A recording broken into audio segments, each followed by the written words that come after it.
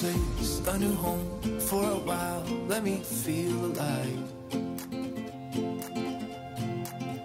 Nothing to hold me back. Take my time, just enjoy the ride. I know man passing by.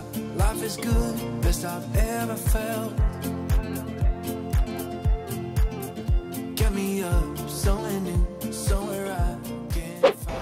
Và chỗ này thì ờ, chúng ta có nơi ờ, đăng ký để vào viếng mộ của đại tướng Võ Nguyên Giáp đây mọi người.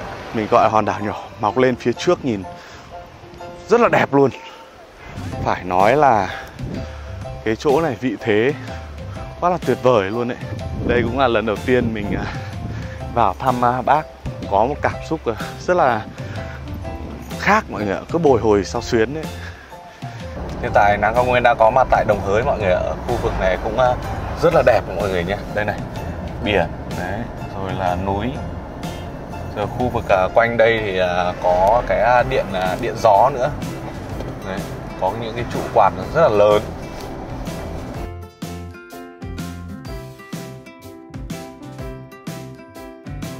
Đấy mọi người thấy chưa? Ở dưới này cực kỳ đông vào ngày cuối tuần.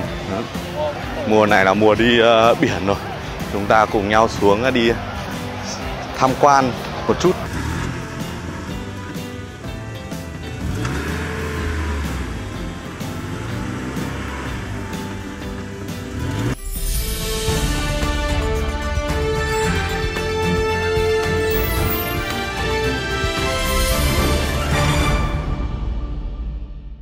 Nắng Cao Nguyên xin chào tất cả các bạn. Chúc các bạn có một ngày mới vui vẻ, hạnh phúc và tràn đầy năng lượng. Hiện tại à, team Nắng Cao Nguyên đang có mặt tại à, thành phố Hà Tĩnh mọi người ạ. Buổi à, ngày hôm qua thì à, anh em mình có chạy thẳng một mạch từ à, thành phố Hà Giang đến à, thành phố Hà Tĩnh. Hôm nay sẽ tiếp tục là cuộc hành trình đi vào trong Đồng Nai để giao lưu cũng như là học hỏi ờ, và xúc tiến thương mại của bên các hợp tác xã với nhau.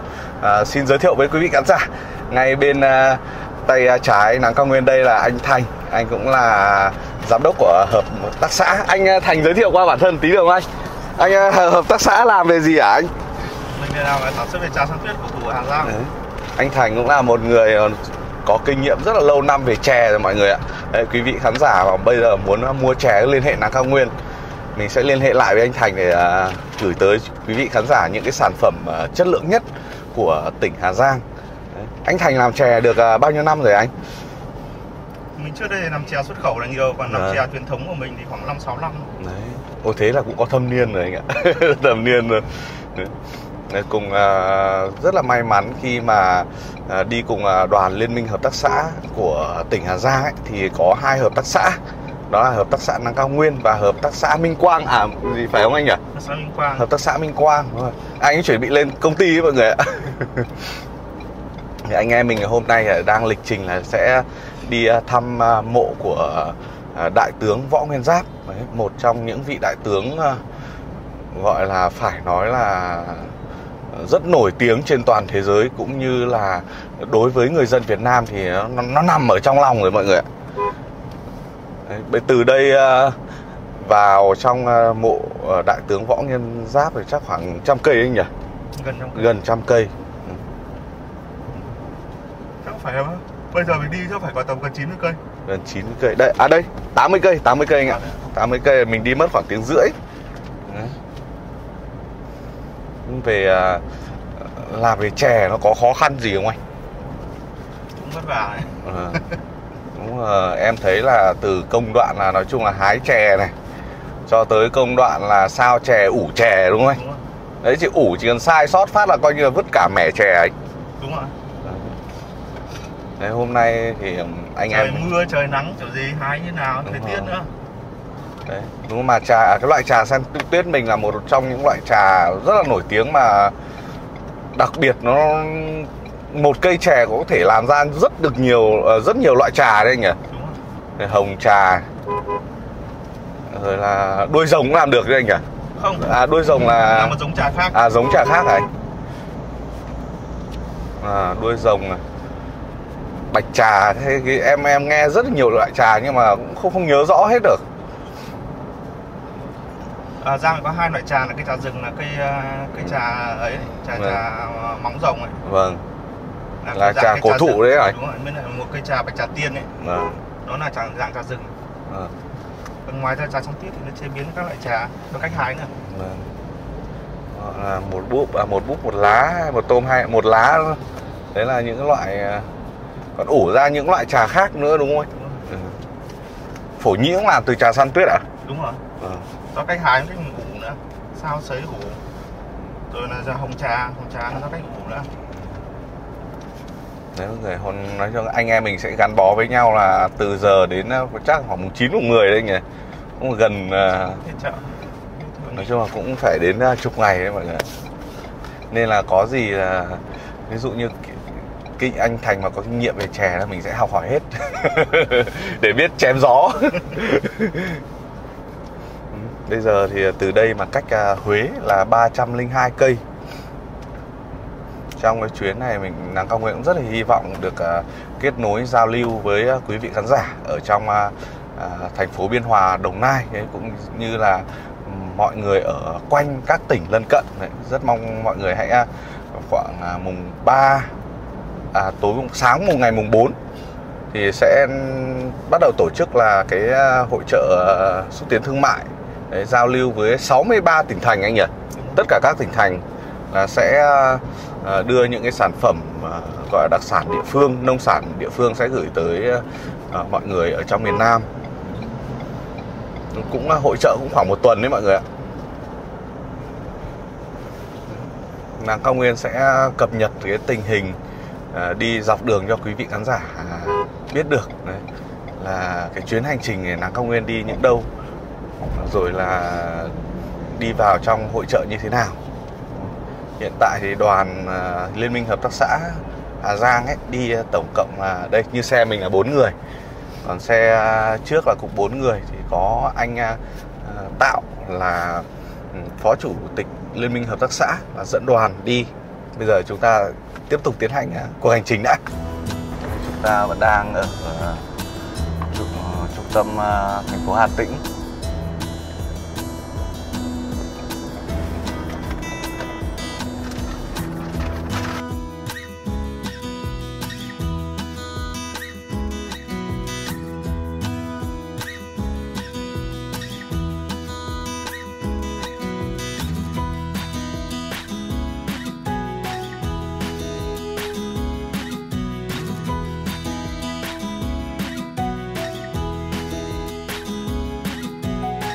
Xin chào tất cả quý vị khán giả, Hiện tại Nàng Cao Nguyên đang có mặt ở à, đèo ngang.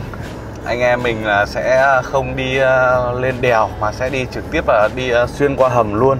Đèo ngang là đèo ở trên quốc lộ 1 Vượt qua núi Hoành Sơn tại ranh giới hai tỉnh Hà Tĩnh và Quảng Bình mọi người ạ. Đèo ngang là một thắng cảnh của miền Trung Việt Nam nổi tiếng qua bài thơ Qua đại- đèo ngang của bà huyện Thanh Quan.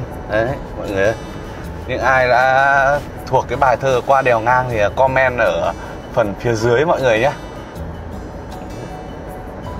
Từ đây qua hầm thì à, đi rất là nhanh thôi, nhưng mà khi mà đi qua đèo thì cái à, quãng đường nó sẽ dài ra.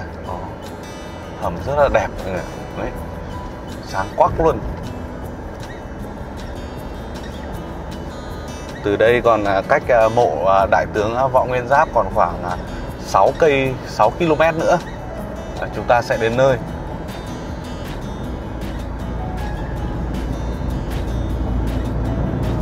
Do thời gian ờ, không cho phép nên là mình sẽ đi qua cái hầm để cho nhanh. Chứ nếu mà có thời gian mình sẽ đi qua đèo để uh, quay cho quý vị khán giả xem. Nên là mọi người hết sức thương thông cảm.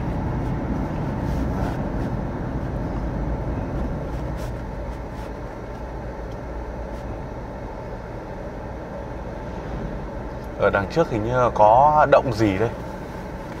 Gì?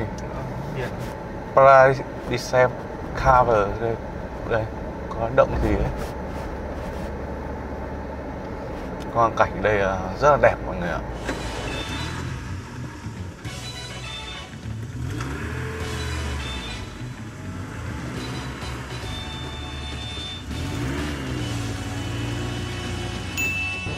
Mọi người ạ bây giờ mình đã đến ờ, chỗ ờ, rẽ vào mộ ờ, đại tướng rồi.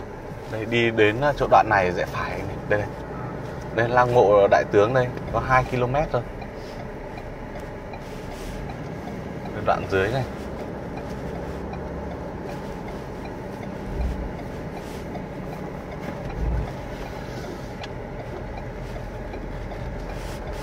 Ừ, ồ, đường đi vào lăng mộ bác rất đẹp luôn.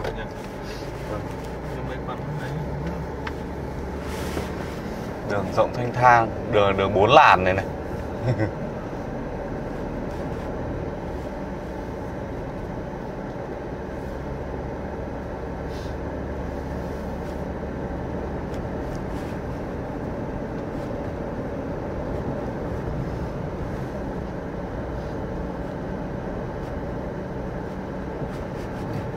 rẽ trái đây khu mộ đại tướng rẽ trái luôn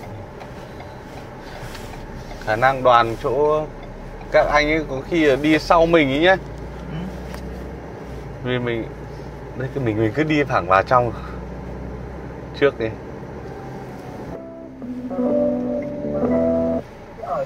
Vâng, alo, anh à, đang ở đoạn nào đấy anh? Thế này em nhìn thấy cái chỗ ờ, biển sẽ vào lại thì có ra ba cây số chưa? Ôi em này thì em đi vào em còn cách mộ ờ, đại tướng hai cây đây anh ạ. Thế là ừ, em vào đi trước đi, anh anh qua cho anh lấy cái hồ sơ anh vào sau thôi. Dạ vâng vâng, ok anh ạ. Vâng vâng. ờ, ờ. Đây, thế mình cứ đi thẳng vào theo cái đường này vào trước đi anh. Thế mình đi trước ấy. Mình đi trước Đi lên đi muốn nhìn cái xe của mình Vâng. ở bên tay phải.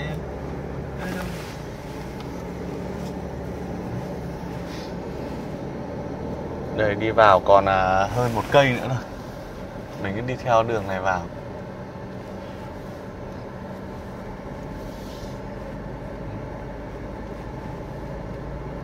Ở bên này biển này đẹp chưa?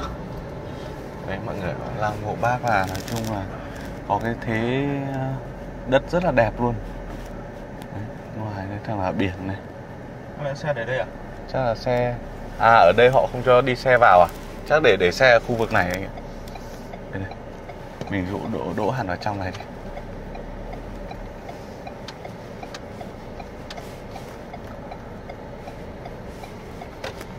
Đi đây. Đây đỗ hẳn vào khu này đi. Bên này luôn nhá. Vâng. Cho nó rộng một tí còn là còn khách du lịch nữa mà đỗ này cho mát. Anh căn chuẩn thật đúng. Đỗ chỗ dâm luôn. Ok thưa quý vị khán giả trước mặt chúng ta đây là là một bãi biển rất là đẹp luôn. Vâng em chào các anh. Em chào anh, xin giới thiệu với mọi người đây. Anh Cường ở bên à, Liên minh Hợp tác xã. Anh Hùng thì à, mọi người biết à, từ à, video hôm qua rồi. Đấy. Anh em mình à, trong chuyến hành trình đi à, à, xúc tiến thương mại thì cũng có à, rẽ qua mộ đại tướng. Mọi người ạ đây, ở dưới này à, mình sẽ đi à, xuống dưới này đây dưới biển này rất là đẹp luôn ở đây là à, đoàn xã Quảng Đông này Đấy, khu vực cảnh báo là nguy hiểm để phòng đuối nước Đấy. Đấy. Đấy, ở đây cảnh biệt à, rất là đẹp nhưng mà khu vực à, quanh đây thì cũng à, như có thường xuyên là chưa chưa có người dọn rác mình cũng nhìn, nhìn thấy đấy. Ở phía xa xa kia có những cái à, thuyền chắc thuyền đi đánh cá ấy mọi người ạ. Đây phía tít xa xa kia.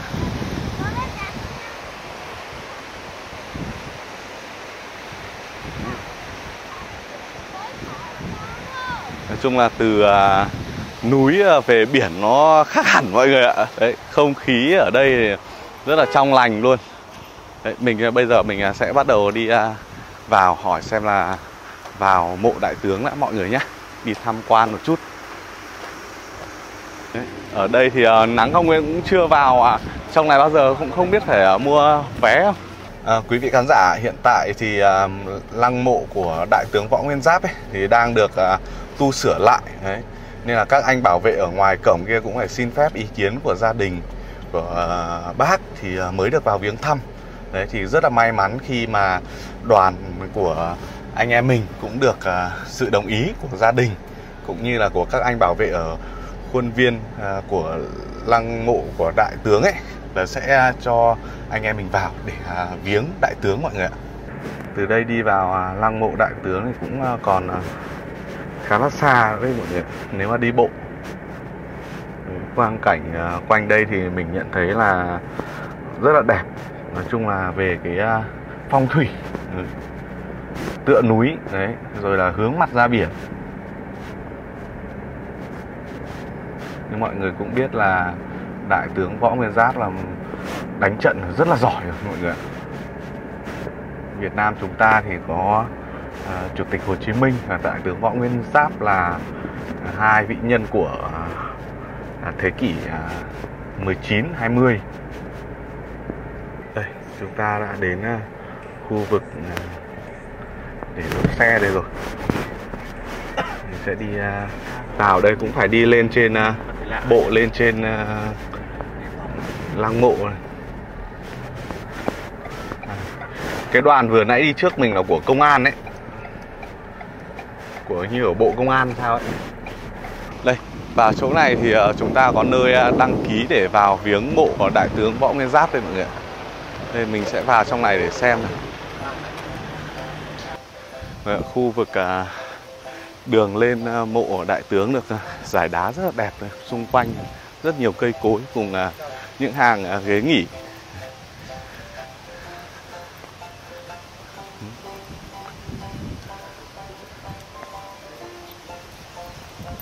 Đấy chắc là lăng mộ của đại tướng ở trên này mọi người.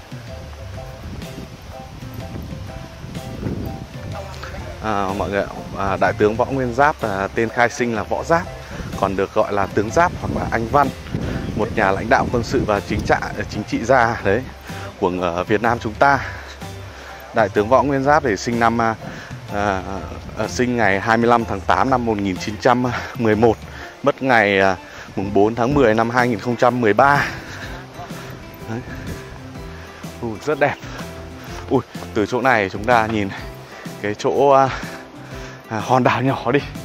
Mình gọi là hòn đảo nhỏ mọc lên phía trước nhìn rất là đẹp luôn. Phải nói là cái chỗ này vị thế quá là tuyệt vời luôn đấy. Đây cũng là lần đầu tiên mình à, vào thăm bác có một cảm xúc ờ, rất là khác mọi người ạ, cứ bồi hồi sao xuyến đấy.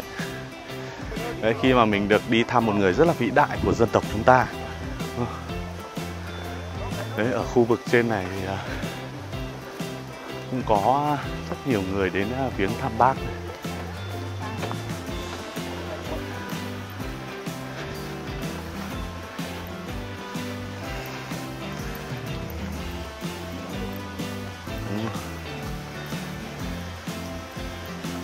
chúng ta đã đến nơi này.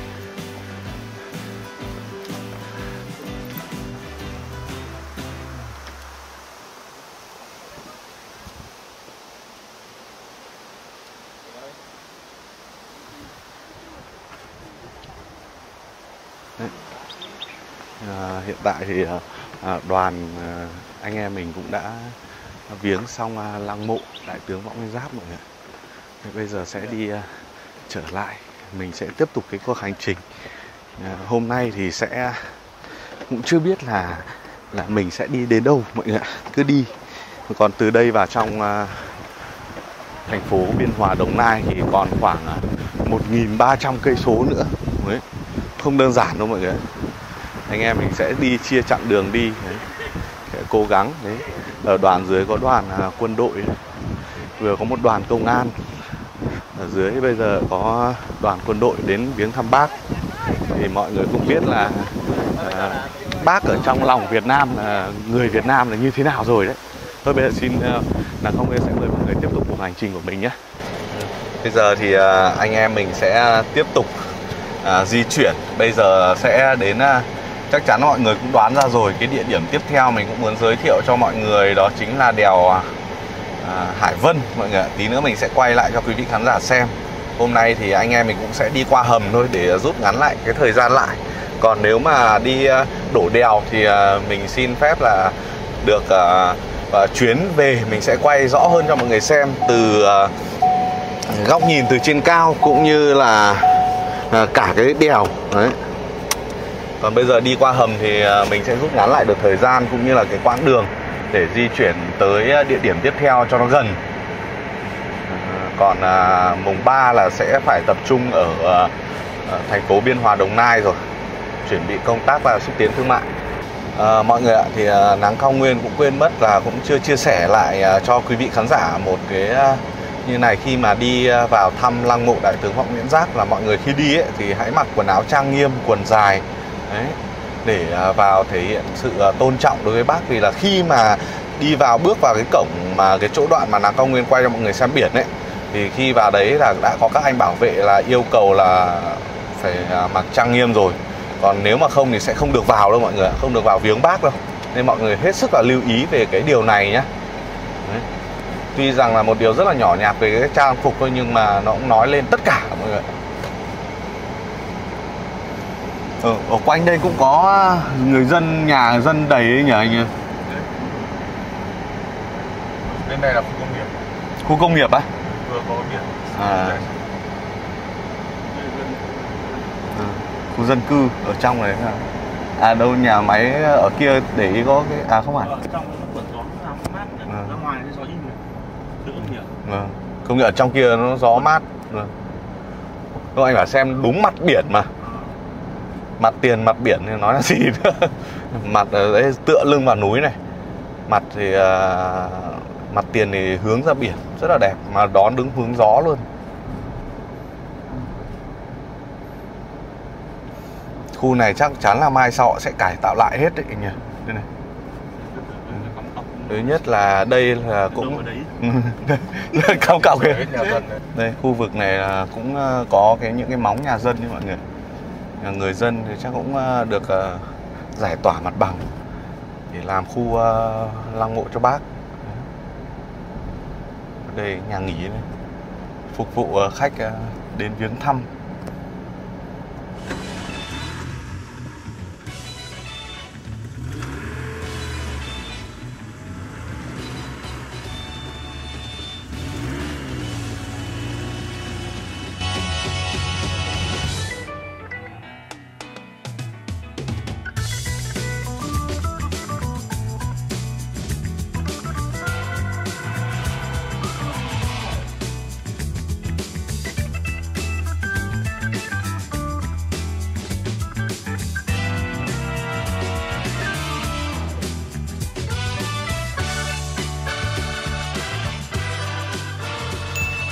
Tại Nắng Cao Nguyên đã có mặt tại Đồng Hới mọi người ở khu vực này cũng ờ, rất là đẹp mọi người nhé. Đây này, biển đấy, rồi là núi.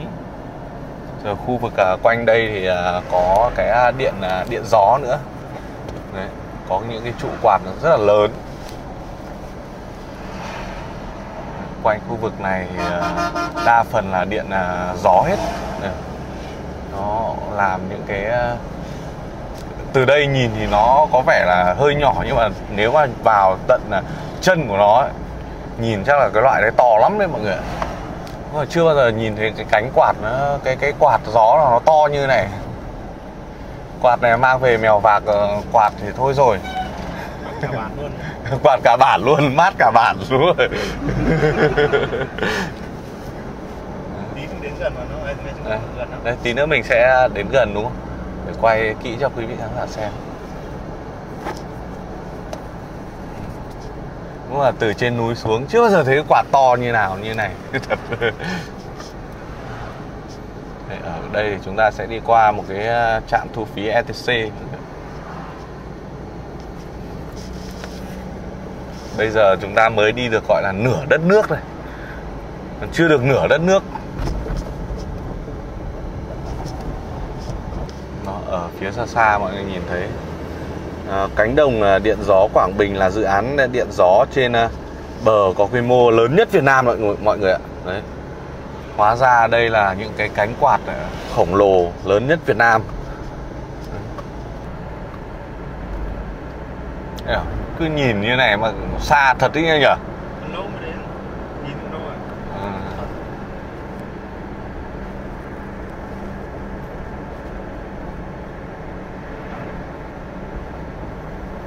Đấy, mọi người ạ. Ờ, nhìn ờ, cảm giác nó rất là gần đấy nhá, nhưng mà đi mãi không thấy đến. Mấy cái ờ, cánh đồng điện gió.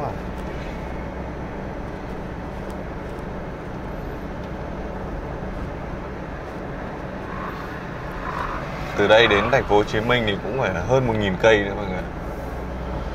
Không đơn giản thế nào. Phóng được mà, vượt.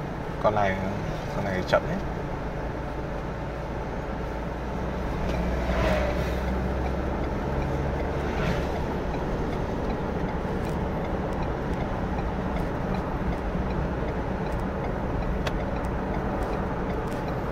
Nhìn mãi đi mãi chơi đến nơi. Thế chứ anh đi anh ở ngay ở đây rồi Ừ. Thang máy đi mãi không thấy đâu rồi mà lúc anh em mình à, nhìn từ xa ra là không thấy cánh quạt quay ra đúng không? Ờ, đấy đi càng gần thì bắt đầu mới thấy quay này. Đi kia mình nhìn nó ra ngay mình ngay sắp tới nơi nhỉ? Ờ.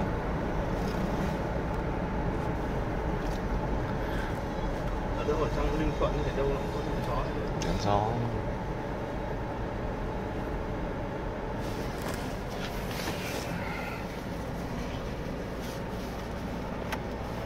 Đấy.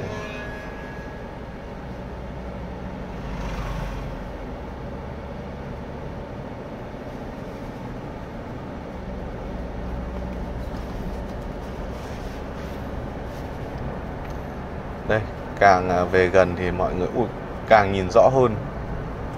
Cái à, tua bin điện gió này.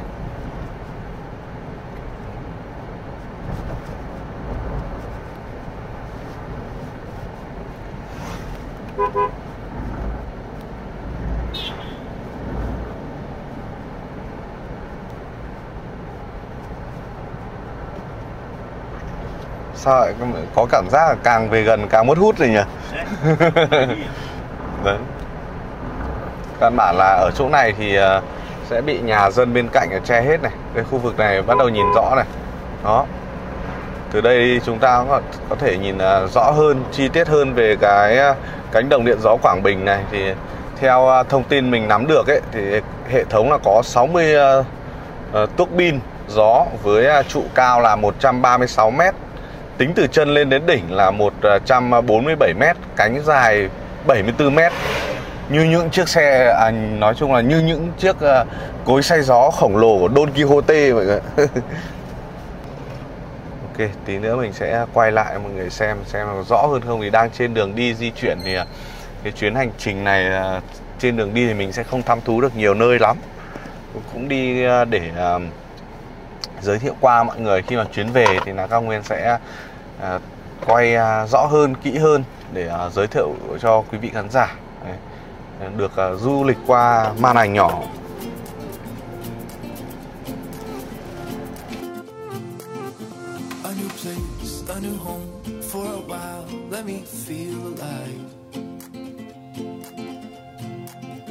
Nothing to hold me back. Take my time, just enjoy the ride. I know man passing by. Life is good, best I've ever felt. Get me up, somewhere new, somewhere I can find myself. Oh, I feel, I feel, I feel, I feel so alive. As I reach out, reach out, reach out, reach out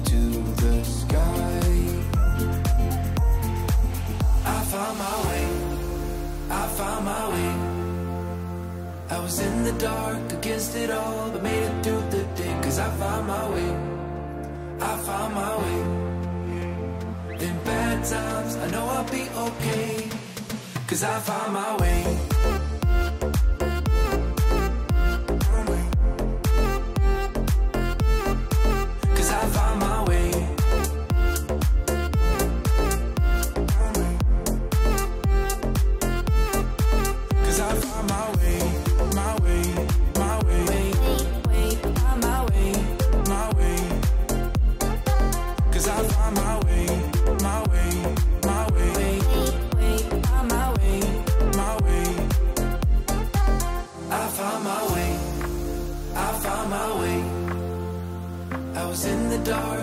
It all, but made it through the day. Cause I found my way. I found my way. In bad times, I know I'll be okay. Cause I found my way.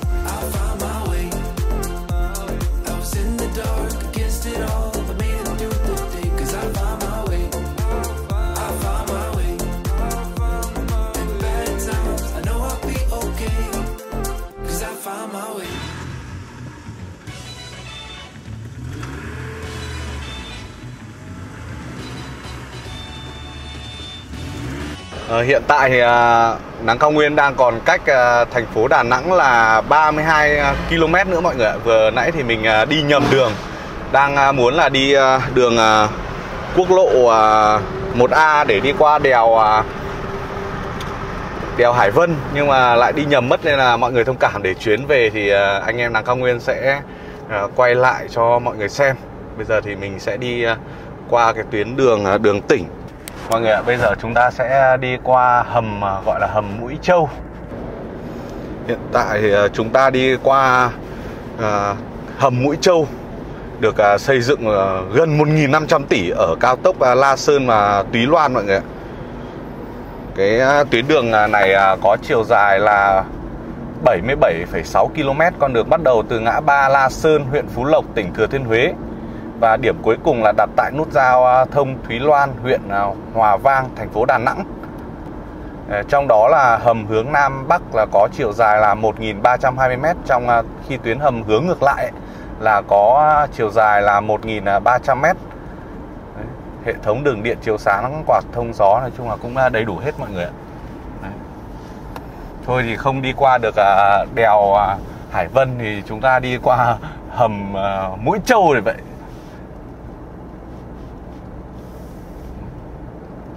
Cái ờ, khi mà đi trên cái ờ, tuyến đường này thì mình quan sát thấy thì ờ, để mà cái tuyến đường nó rất là dài nó trên 70 km nhưng mà khi đi dọc đường thì mình không thấy cái chỗ gọi là ừ, trạm dừng nghỉ nào cả.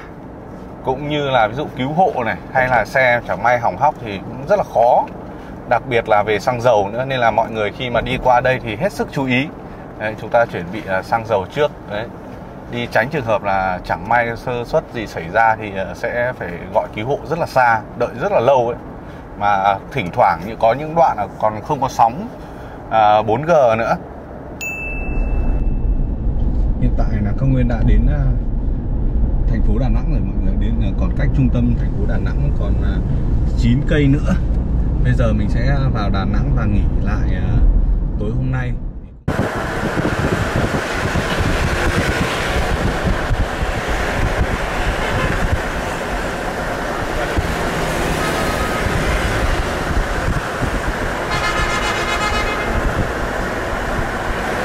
Kính thưa quý vị khán giả, hiện tại thì à, anh em Nắng Cao Nguyên đã có mặt ở bãi biển của Đà Nẵng rồi. Bây giờ vừa nãy thì anh em mình vừa mới đi vào trong à, nhận phòng nghỉ xong. Đấy, bây giờ à, là gọi là hơn 6 giờ thì sẽ đi gọi là ra tắm biển một chút, sau đó thì sẽ à, chương trình buổi tối là tính sau. Đấy mọi người, mình sẽ không bật mí cho mọi người trước nhá. Để cho nó cái video nó hồi hộp, nó hấp dẫn hơn một chút. Đấy. Bây giờ, bãi biển Đà Nẵng hôm nay là vào ngày cuối tuần nên là cũng à, rất là đông với mọi người ạ. Đây, mọi người tắm biển đông lắm. Cũng à, lâu lắm rồi mình mới à, quay trở lại Đà Nẵng phải 4 năm rồi. 4 năm nay.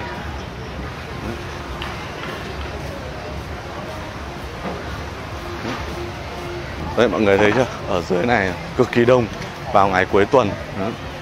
Mùa này là mùa đi biển rồi. Chúng ta cùng nhau xuống đi tham quan một chút.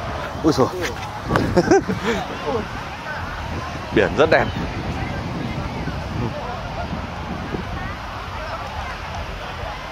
Đúng là từ à, vùng núi xuống biển nó khác hẳn. Rồi, à, bạn quân ca à, edit video. Nêu cảm tưởng khi mà đang ở ở ở núi và xuống biển nữa. Mình thấy rất là ngỡ ngàng. Cái khoảng khắc ở đây luôn thực ra thì anh em mình ở trên núi bao nhiêu năm nay rồi, hôm nay có cơ hội xuống gọi là đi giải ngố mọi người ạ. Rất là đông.